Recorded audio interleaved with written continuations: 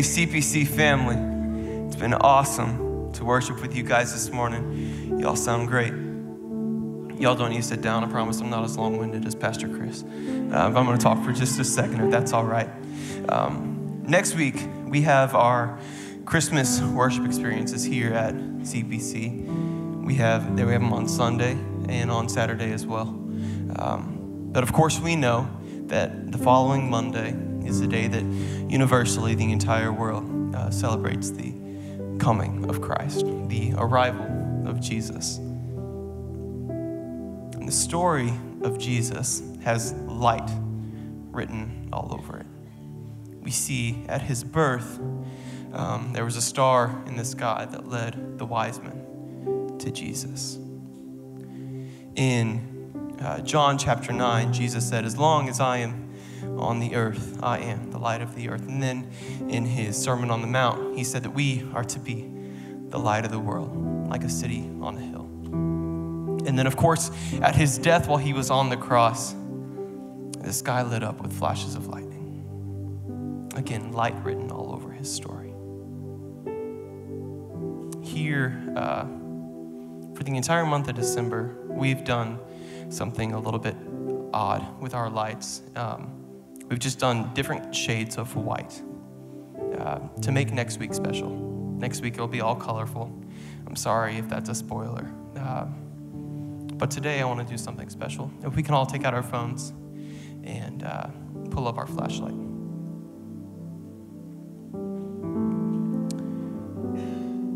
Again, Jesus said in his Sermon on the Mount that we are to be the light of the world. No, he was talking about a spiritual light.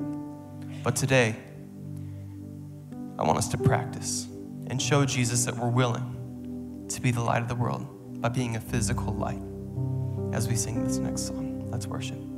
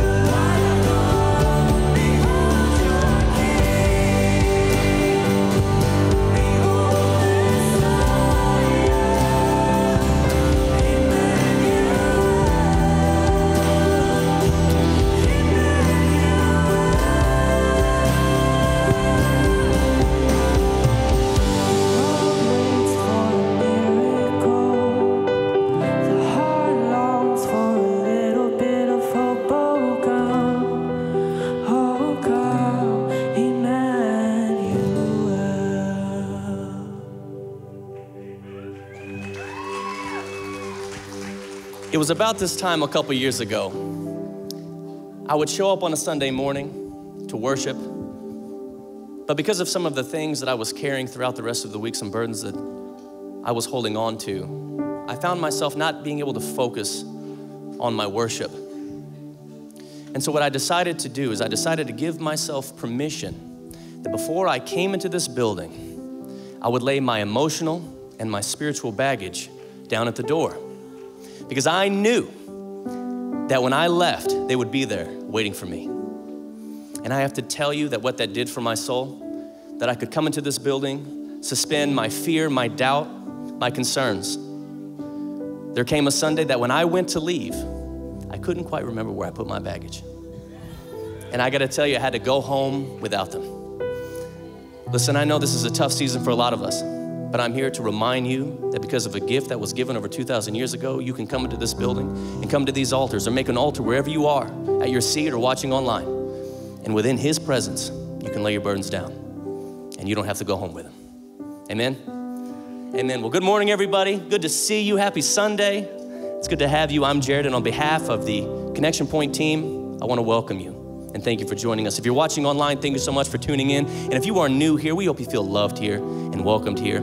If you haven't yet been plugged in or connected, and if you have any questions that you would like for us to answer, you can text guest to 573 340 4037, or you can scan the QR code on the screen. Any questions that you might have, we'd love to get to know you and answer those questions for you. Speaking of getting connected, if you have not yet joined a small group, I would encourage you to do so. You can go to the next steps desk out in the lobby or go to yourcpc.church slash groups. Listen, I love Sunday.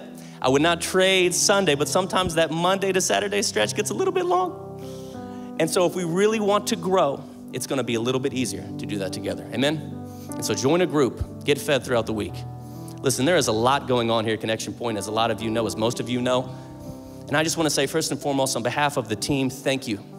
Thank you for worshiping with your time, with your effort, with your volunteering, and with your giving. And it's, uh, this morning, if you would like to give, there are a few different ways you can do that. You can text the amount that you would like to give to 84321. You can go online at yourcpc.church slash give. You can visit the drop boxes in the back of the sanctuary, or you can mail in your offering to the address on the screen. Let's pray. Lord, thank you for yet another Sunday that we can gather together with friends and with family to take some time to focus on you, to focus on what you have for us in this season. Lord, we pray that you would bless the offering that we have prepared for you with a heart of worship and that you would open up our ears to hear and our hearts to understand and to receive the message you have for us this morning. And it's in your heavenly name we pray. Amen and amen. Lastly, we have a quick video for you all to watch. Here's just a little bit of what's coming up at CPC. Join us at CPC for our Christmas worship experiences as we break away from the chaos of the modern world and focus on Christ and the importance of His arrival. Our Christmas worship experiences are next weekend, Saturday, December 23rd at 5 p.m., or Sunday, December 24th at 8:30, 10, and 11:30 a.m. January 4th is the next Red Cross Blood Drive at CPC please schedule a donation now. Are you new to CPC and wondering what's next or how to become a part of Connection Point?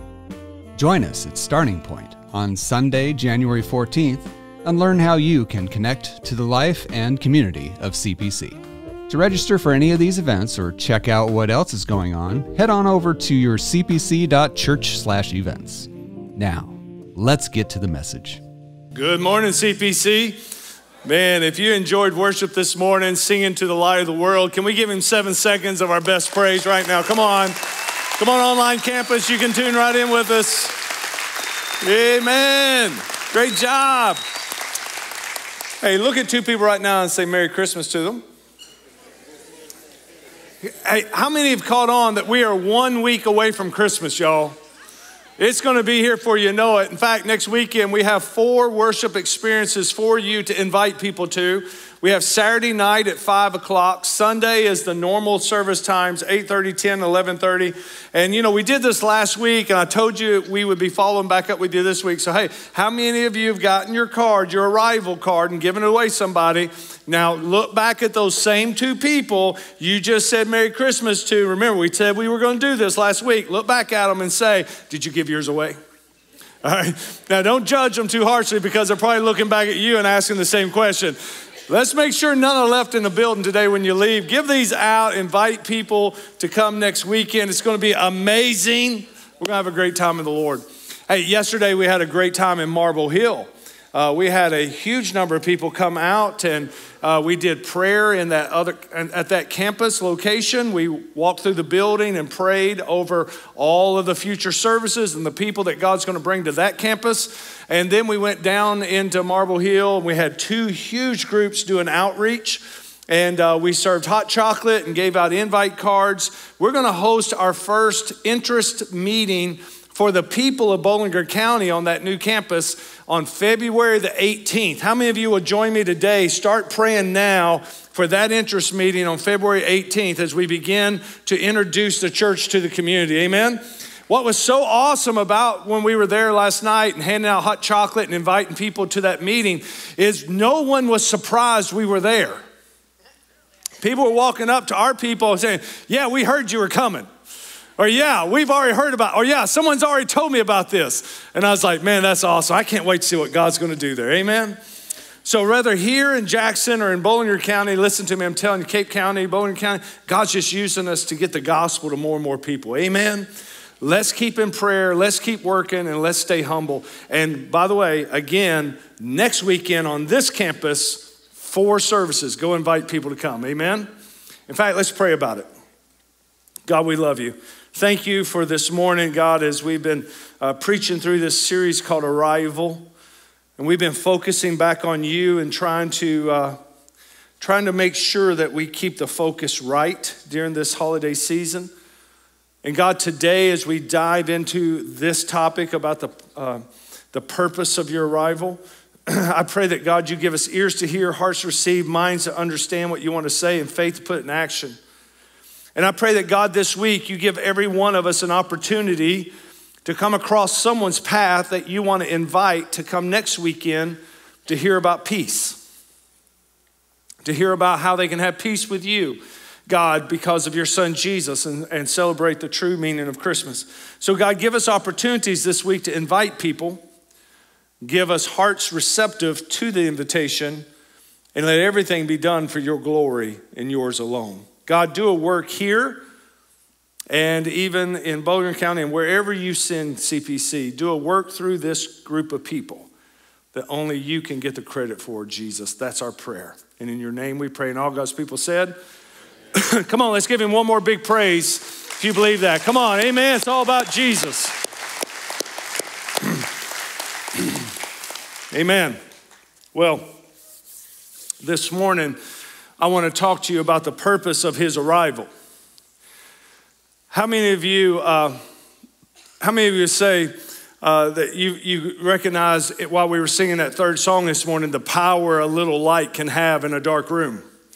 Right? I mean, someone said like this, right? Darkness is just the absence of light. And a while ago, when we turned the lights down in the room and, and Tyke told you to bring out your phone, I don't know if you could look around. I know in the back you didn't get the full grasp of the moment, but up here up front, I turned around and just kind of scanned the crowd. And when you see all those little flashlights, and the crazy thing about it is, is the light on your camera or, or your phone is just a little bitty light, and you got all this huge room of darkness. But how many have noticed that it only takes a little bitty light to pierce through the darkness?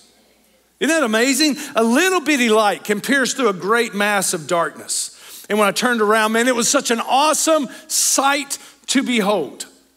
And that's very important for us to focus in on. As Tyke said a moment ago, you can't look at the coming of Jesus and not see this image of light everywhere.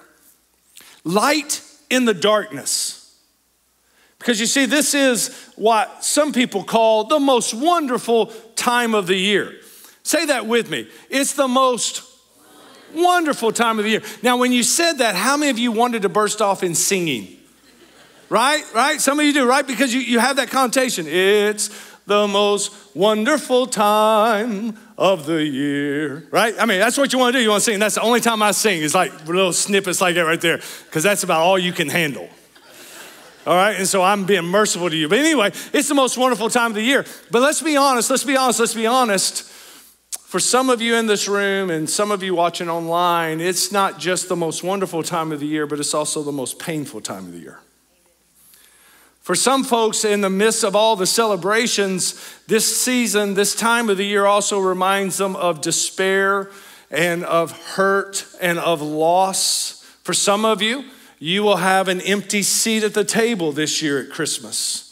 And uh, this time of the year, though it's wonderful and you're celebrating, there's also that constant reminder that it's not wonderful all the time or wonderful for every person. December the 8th marked the one year anniversary of my mother moving to her heavenly residence with Jesus. Last year, when our family went through Christmas, I kind of think we were still in shock and we went through the holidays and it never just really dawned on us. It was just like, you know, she was on vacation or something. It just never really dawned on us. However, I can tell you that this year, Christmas has a totally different feel for us. Um, it, the absence is, is known this year. We feel it differently. My mother's favorite color was red, and uh, she had uh, one set of red dinnerware that was her favorite, and she always decked out her dining table during the holidays with this one set uh, of red dinnerware.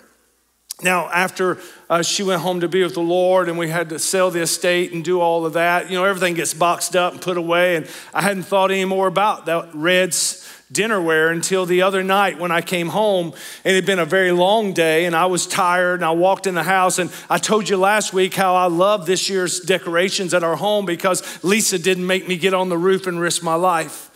All the decorations outside are low and to the ground, and to that I say amen. Uh, but when I walked into the house, I noticed that she'd also decked out the inside of the house. Now, I have a great wife who does most of that herself, and while I'm at work, so I don't have to, you know, anyway.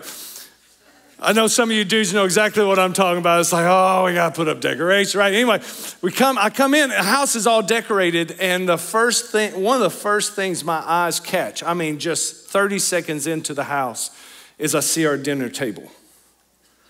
And Lisa had took mom's red dishes and placed them on the table. The next thing I hear is Lisa, who's in the other side of the house, and I don't even see her. She hears me walking in, and I hear immediately out of her mouth, Is it too much? Now, she's not talking about is the decorations too much. She's specifically, I know because of the emotion of the moment, the connotation in her voice, she's talking about the dinnerware. Is that too much? And of course, my immediate response was no, it's perfect. No, it was absolutely perfect for me for this Christmas, right?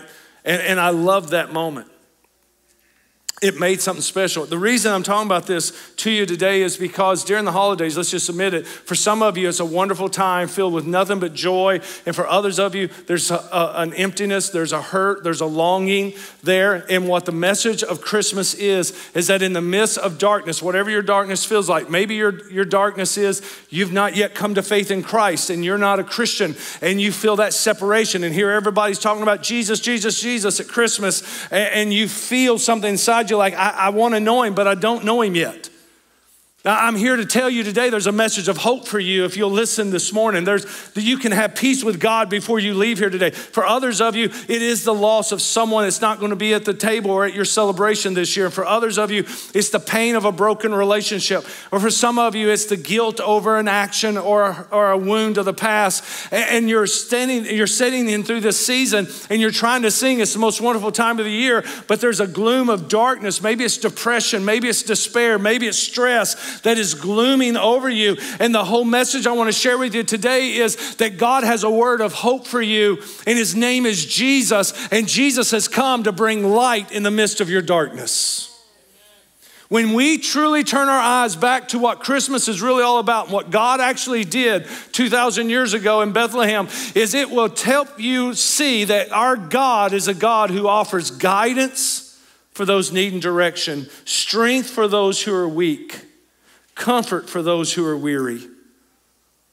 In essence, let me tell you, He gives us hope. And the whole message of Christmas is that we serve a God of hope. 800 years before Jesus was born in Bethlehem, the people of Israel were in a season where they didn't have much hope. And then they were, they were going through political turmoil, sound familiar? Social norm, uh, social culture was up in an upheaval, and they were in spiritual darkness as well. Listen, I'm telling you, the devil has no new tricks. He just keeps recycling the same old ones. He just puts new faces and new names to them, okay? What you're going through today is what people have been going through for generations. And, and, and 800 years before the first Christmas, God used a prophet named Isaiah, and he gave a word of hope to the world. And hope is pretty important, wouldn't you agree? Did you know that you can live 40 days without food? I don't plan to figure, find that out for myself. I'm going to trust the medical experts who say that. Come on, somebody. I, that's why we only do 21 days of prayer and fasting in our church. We'll do 21 days. I, if you want to do 40, you go for it, but I'm going to let you come tell me how it went, all right? But statistically, you can live 40 days without food, three days without water, eight minutes without air, but I would argue you can't live one second without hope. Everybody's looking for hope. It is the question on everyone's mind, countless people in countless ways. That's the question on your mind when you sit in a doctor's office or the unemployment line or in a counselor's office. It's the question that eats us up all the time Is there hope? 1927, an American submarine collided with a Coast Guard vessel. The submarine sank to the bottom off of the coast of Provincetown, Massachusetts. The Navy and the Coast Guard both sent divers down to survey the damage to the submarine and to inquire if a rescue mission was possible. When they got down, the divers, when they got down to the submarine, they could hear the distinct pounding of a soldier on the inside of the submarine. The more they listened to it, the more they picked up it was Morse code.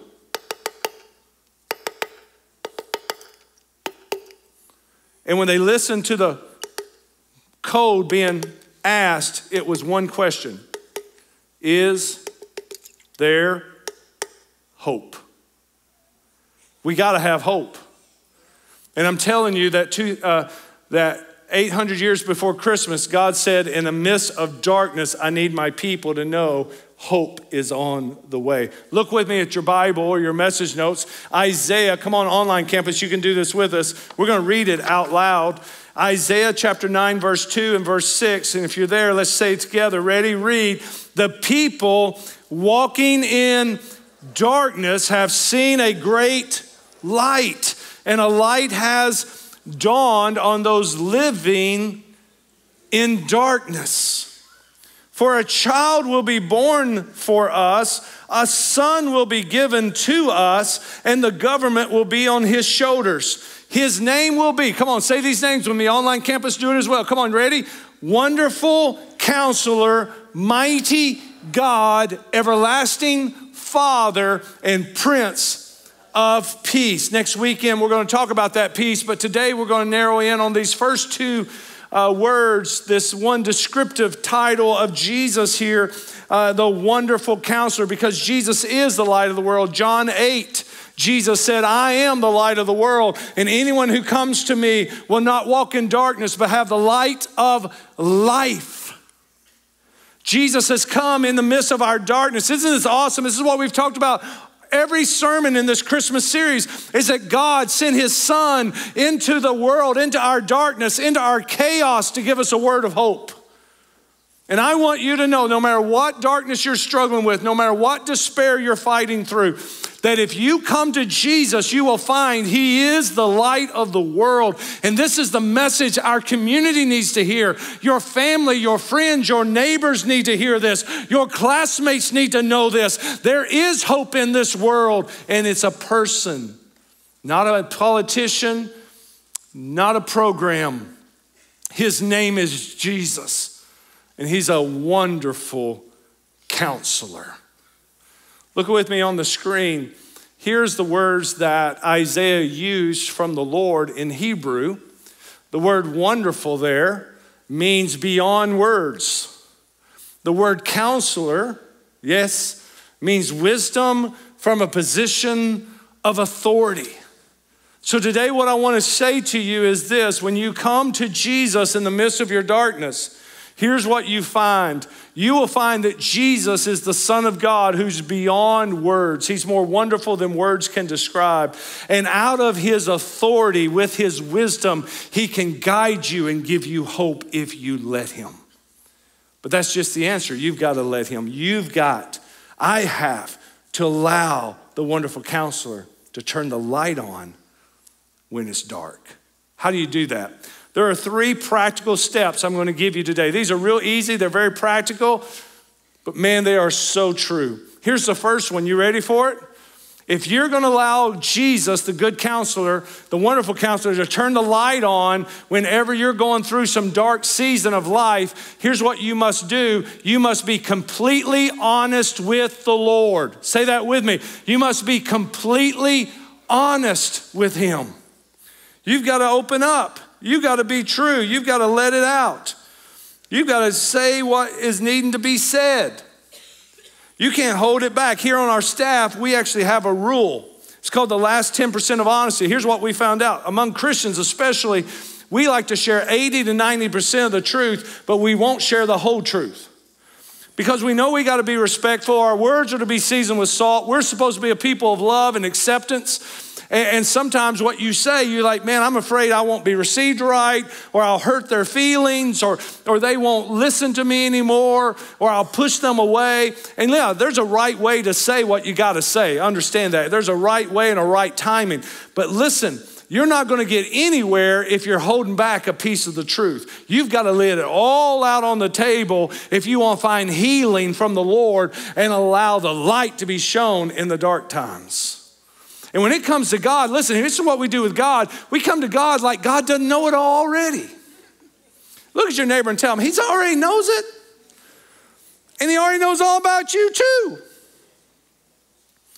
And we'll hold stuff back. We'll be in prayer like Jesus, we want your help over here. And we will selectively use our words without having to go all in. And you're not going to get anywhere with God until you go all in. You've got to open up. You've got to be completely honest with the Lord. Here's what I'll tell you the safest place to be in the world is to be open with Jesus. Can I, can I say that again? There's not a safer place in the world for you when you're going through dark times than to get alone with God and get completely open. It's the safest place to be vulnerable. He's the safest one to talk to about whatever you're struggling with. I know some people be like, no, God doesn't care about that little thing, or God doesn't need to hear all of that. Yes, He does. It's not that you're telling him something he doesn't know, but he's trying to do something for you. And you can only get healed when you open up. Let me give you some Bible examples. In John chapter 4, Jesus goes to a well in Samaria. It doesn't have to go that way, but he told his disciples, I have to go to Samaria. He goes there, and there's a woman at the well that no one is having anything to do with because of her lifestyle.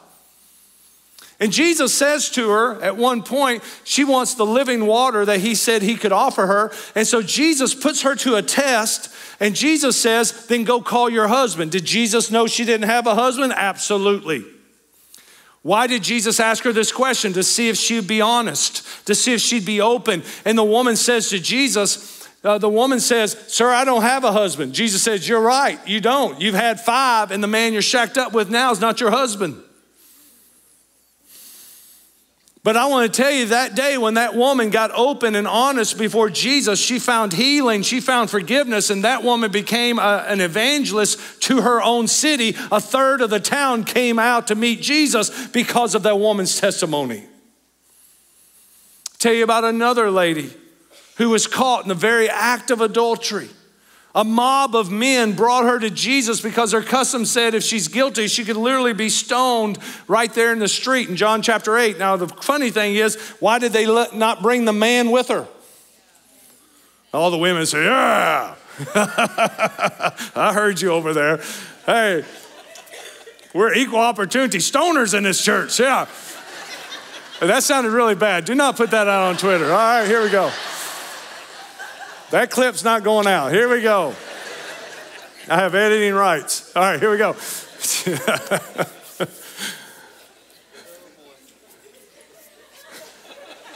Come back in. Uh, where was I? Here we go. The crowd said, Let's stone her. And Jesus started writing on the ground and said, Okay, you who are without sin, cast the first stone. And one by one, all those guilty old men turned around and had to walk away. Jesus looked at the woman and said, Woman, where are your accusers? She said, I don't have any. He said, You're right. Neither do I. Go sin no more. She found out that day when everybody in town wanted to stone her, Jesus didn't want to stone her telling you, there's no safer place than to be with Jesus. But you got to be honest. You got to be honest. I, have read about uh, a blind man, and this is such an interesting story.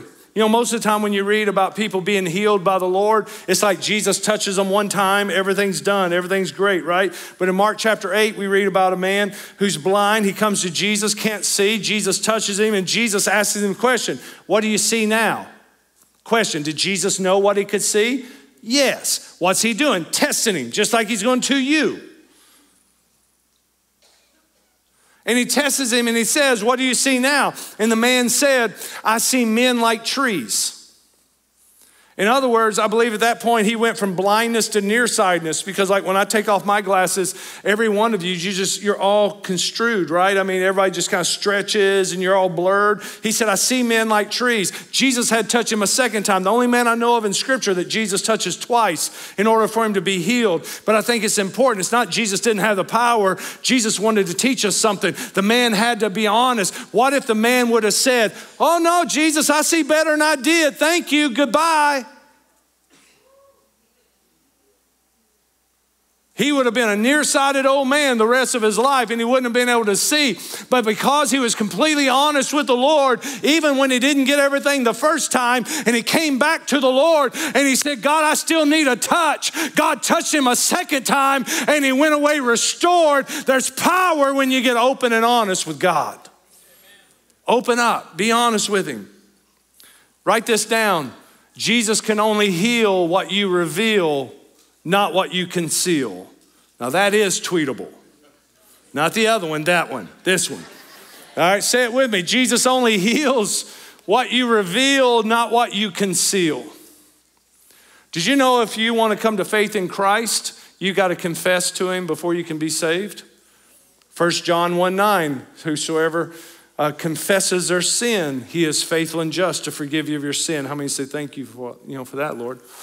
Did you know some there are some things in life you got to have a friend or someone you can confide in and talk to to go through the pains of life in order to get over some of the wounds that life brings? So James chapter 5 says, confess excuse me, confess your faults to one another that you may be healed. You need to be open with God, and sometimes you need somebody you can confide in to talk to. Here's what psychologists have known, and the Bible confirms the first step to healing is you revealing. You can't get anywhere until you open up and get honest. You're not going to go to the next level. You're not going to get over it. You're not going to heal.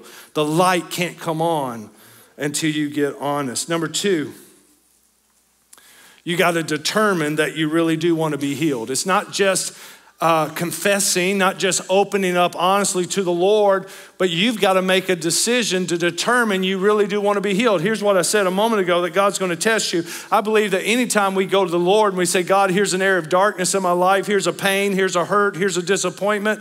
I need healing, God. I need peace, I need direction. I believe that God will sometimes uh, challenge us to make sure we're honest, but also to make sure we really do want this from the Lord, that we're not just saying words. Do you really want to be healed? Do you really want the light to come on? Do you really want peace over that situation? Do you really want guidance? Do you really want direction? Do you really want this hope that can transform your life? And so sometimes the Lord will challenge us a little bit. When you read in the Bible in Mark chapter 2, uh, uh, four friends carry a paralyzed man on his mat to Jesus. Now, that's being completely open and honest to the Lord. They bring a paralyzed man in front of a crowd that Jesus is preaching to and tear a hole in the roof, actually. And they, Lord, they, this guy's right there in front of everybody. And all they want is, Jesus, we just want you to touch and heal our buddy. And Jesus looks at the man, and here's what he says Jesus doesn't say, You're healed. Jesus doesn't say, All right, I got you back. He doesn't kind of you know, encourage him. Jesus just looks at him and goes, Well, get up. Take your bed and walk. Now, you put yourself in the position of that guy. Your whole life, you've been carried around by your buddies. Your whole life, you've not known the joy or the power of walking on your own legs. And all of a sudden, you're getting brought in front of a crowd like this while some dude's preaching, and the guy just looks at you and says, Well, get up. I mean, we're not talking about you know, like stuff on TV, so I'm talking about real life, all right? Get up and walk. Why would Jesus do that? Because at that moment, the man had to make a decision. Do I really believe he is who they say he is? Can he do what he says he can do? Can I trust him? And the man got up and he picked up his bed and he walked out of the house. Amen? There's another story similar to that, but in a totally different context, but same situation, and it was it turned out the other way. There was a rich young man who came to Jesus one day and said, Lord, what can I do to inter- have eternal life? He wanted to be saved. And the Bible says, Jesus said to him, Then go obey my commandments. And he said, I do that. I've been living by the commandments my whole life. But Jesus knew his heart. Jesus knew where the darkness was in the man. And in that man, his darkness was he loved his possessions more than he loved God. And God said to him, Well, then go sell everything you have and then come follow me. Think about, think about. It. Jesus invited this man to be one of his disciples. He could have been number 13. He could have took Judas's place. When Judas fell from the Lord, right? He, he, he, he could have been, he, could, he was invited. And the Bible says the man walked away sorrowful because he loved his possessions more than he wanted eternal life. So look up here at me. How many feel darkness sometimes? And maybe you're going through it right now. How many know that Jesus is the light of the world? But to be healed, you got to reveal, you got to get open. But now, watch this, watch this. You also got to determine that you really do want to be healed when you come to Him. Because number three is if you really want to be healed, you'll do whatever He asks you to do. Are you willing to do whatever the Lord asks you to do? And how many know that sometimes that can be a scary thing to say to the Lord? It can be a little intimidating to say, God, I'll do whatever you tell me to do. But how many know that's where the healing is found? That's where hope is found. That's where peace is found. When you come into a place in your relationship with Jesus that you can find out that if I can just be open with God, if I can have the right people around me, and I can be honest with God, and I really, really, really want light turned on in the midst of my darkness, that I'll do whatever the Lord says to do, I can find the peace He wants me to find. I'm telling you, when you trust Him, the light can come on and he can touch you in a special way. By the way, let's just let's just have fun with this. How many of you are teenagers or above, all the way to senior adults? How many of you ever had a parent say to you at some point in your life, or a guardian or someone? How many's ever had someone say to you, "Come on, online campus, lean into the screen. You know this too." How many's ever had someone say, "Go do this"? To which your rebellious attitude showed up. And you said, Why? To which they came back with the classic response of, Because I said so. Anybody know what I'm talking about in the house? All right. I got a house full of rebellious sinners, disrespectful to their parents. How about online? I mean, we're all in, we're all in this thing together. Amen. no, no, no. Come back in, come back in, come back in. How many of you, after some time passed by, found out they might have known what they was talking about after all? no, no, no, listen, all you parents out there, let me give you a word of hope and encouragement. When, you when your kids are little, kids when they're little thinks mom and daddy hung the moon and they can't do no wrong Daddy can beat up everybody else's daddy, and mama's prettier than everybody else's mama, all right? Then you come into teenage years and you think your mom and daddy are the two dumbest people on planet Earth. then you get out on your own, get married, get a job, start raising kids of your own, paying your own bills. Bless God. Yeah, you're out on your own, and all of a sudden, mom and daddy now turn back and become the wisest counselors you can find on the planet. Anybody know what I'm talking about? Isn't it amazing how God works?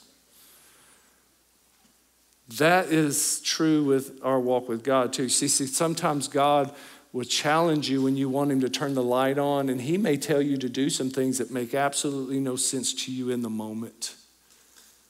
And you'd be like, God, why you want me to go talk to her? God, do you really want me to go into that area of service or ministry? God, do you really want me to make that change? God, do you really want me to do this or that? And it might just be that God wants you to know He sees the end from the beginning, He knows what's best for you, and He's just asking you to trust Him in the moment. Look up here at me. Let me tell you something. I told this to some folks here recently. Walking by faith means you trust Him when you don't have all the answers. It wouldn't be called walking by faith if you knew the end from the beginning already. Trusting in the Lord is when you trust He knows what's best for you. Look at two people right now and tell them, I told you at the beginning, He has your best in mind. Online campus, just go ahead and put that down somewhere in the comments. He has your best in mind. See, the cost of a, of a blessing. How many want to be blessed today? The cost of a blessing is obedience. The cost of a blessing is for you to trust God and believe God when you can't see it, to follow Him when you don't understand it. One time, Jesus in John chapter 6 had to preach a very hard sermon.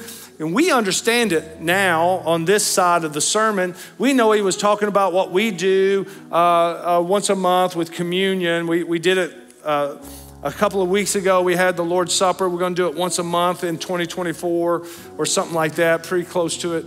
And um, it's when we take bread and the cup of juice or wine and, and we remember the body and the blood of Jesus poured out on at the cross for our salvation. Jesus was actually preaching on that, but he didn't go through and explain it all. He just kind of looked at a big crowd like this one day and he said, Unless you come eat my body and drink my blood, you have no part in me.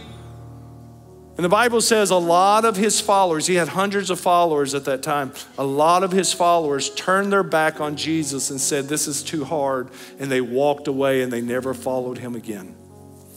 In John chapter 6, he turns to his 12 disciples and he asks this question Do you want to go away too? And I love Peter's response. You see it there on your message notes? Peter said, Lord, where will we go? You alone have the words of eternal life. I want you to think about that. How many believe Jesus is the light of the world? That he can turn light on in the midst of whatever darkness you're facing? Then you're going to have to trust him even when you don't understand him. Because at the end of the day, you got to come to this great conclusion who else you going to go to? He's the wonderful counselor. He's beyond words, and he can give you guidance from a position of authority that no one else can. He's got your back. You can trust him. Amen? He loves you. If I could sum it up this way, here's your big takeaway Trusting the Lord is what turns the light on in your life. I want to challenge you today to trust Him, to trust the Lord. You know, John, when he was writing his gospel in verse 4, he wrote these words In Him was life. It was the life, and that life was the light of men, and that light shines in the darkness and yet the darkness doesn't overcome it. See, it doesn't matter what the darkness is you're facing, no matter the darkness you're struggling through. The good news of the hope of Jesus is if you come to God with all your struggles and all your pain and all of your hurt and all of your hangups, listen to me. No darkness you face is stronger than the light of Jesus. Verse 9 says, And the true light gives light to everyone, and he's coming into the world, and he has come. That's why we celebrate Christmas. That's why we invite people to come to church. He is the light of the world. And anyone that follows him doesn't walk in darkness. Amen? Here's what Jesus says Matthew chapter 11. You ready? Jesus says, Come. Come to me. All of you who are weary and heavy burdened, and you will find rest for your soul. How many want to find that rest from the Lord today? Would you stand with me? Heads bowed all over the room, no one looking around. Did you know that Jesus said in John 10, He'd come to give you life and give it to you more abundantly? I promise you today, if you look to Jesus, He lightens the load, He directs your steps, and He strengthens you for your journey. Let Him. Let Him today. For some of you, you don't know the Lord yet. You haven't came to faith yet. How about today? Today's a great day to be saved. Doesn't matter who you are or where you've been, if you call on the name of the Lord, He'll save you. Others of you, you're believers, but you got some hurt and some struggles you're going through, some pain. He's here to help you through it. Would you pray with me? If you want to be saved today, pray this prayer with me. Lord Jesus, today I give you my heart, give you my life. I, I pray you turn the light on in my darkness and forgive me of all my sin. Today, Jesus, I trust you as my Lord and my Savior, and I'm going to follow you from this day forward. I receive you now in Jesus' mighty name. If you're a Christian here today and you need God to turn the light of hope on in your life, why don't you just call on Him right now? If you just need the Lord to turn the light on, would you pray this prayer, Lord Jesus? I believe you are the Son of God, you're the light of the world. Today, I just need you to turn the light on. Here is my pain, my hurt, my unforgiveness, my sin. Give it to Him. Here it is, Lord. Meet me where I am. Put the right people around me. And Lord, bring healing. Give me the healing that I need. Turn the light on. It's in Jesus' name I pray. And all God's people said, let's worship. And while we worship, if you like someone to pray with, pray over you. We have prayer team members who will meet you at any of these altars or out in the lobby. Online campus, while we're singing, there are pastors right now at a computer ready to pray with you online. All you got to do is reach out right there in the comments. So come on, this is our time. Let's let Jesus turn the light on. Amen? Let's sing.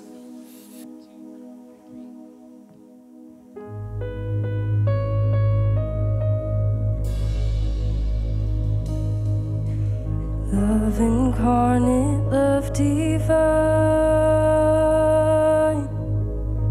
Star and angels gave the sign.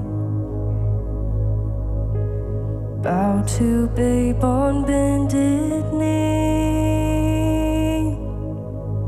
The savior of humanity.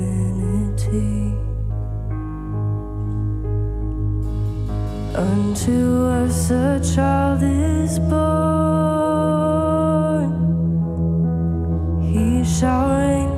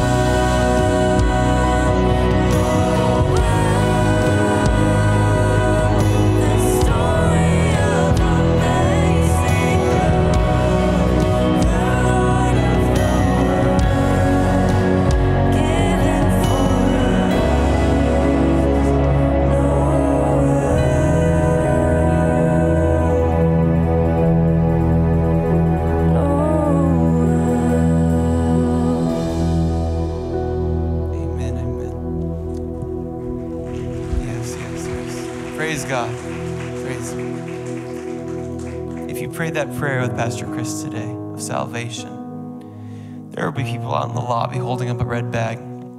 Please go and find one of those guys.